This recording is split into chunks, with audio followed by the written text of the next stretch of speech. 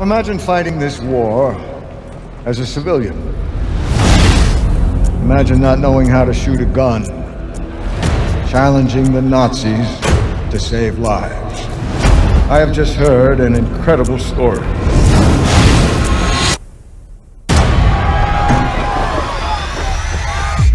That makes your sacrifices completely worth it. 123 children. Their parents were just killed by Nazis. We need to train them to survive. What good does it do to teach them fear? I think it's important to help the children laugh in the middle of this war.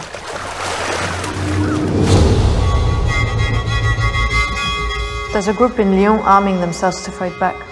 We need to find guns, we need to learn how to shoot. Do you really think I could help anyone with a gun? Of course not. But your passports are impressive. Look at this. Marcel Marceau. It's a great name. Welcome to the Resistance. Why are we fighting a war we can't win? We can kill all the Nazis, We can kill some. or we can save some lives. We want to take them out to France. To see if we can get across the border. Tell me where they are. I don't know where they are. You do know!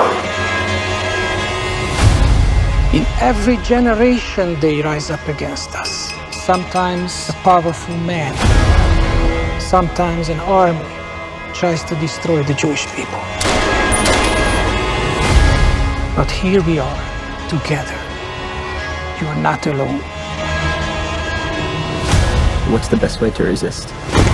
It's not to kill them.